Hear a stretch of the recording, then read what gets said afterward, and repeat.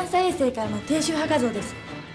その陰影はビオランテによる日本海に追われたゴジラが眠る地点です。初めて見ました。ゴジラと空飛ぶ円盤が何か関係があるとでも？千歳第二航空団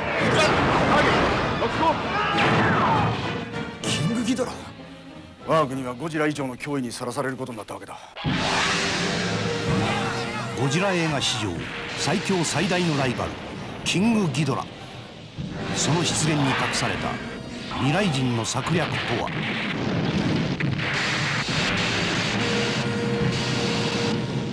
キングギドラの出現は23世紀の人間たちによる仕業っていうことにそして宿命のライバルに引き寄せられるかのように再び目を覚ましたゴジラ。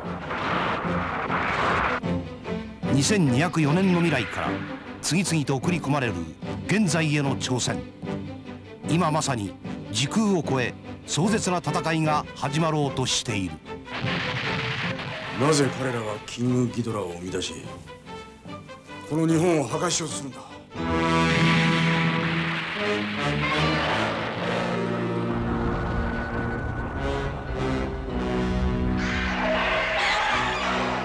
一段とパワーアップニューキングギドラ迎え撃つゴジラ。二大怪獣最後の激突。ゴジラ対キングギドラ。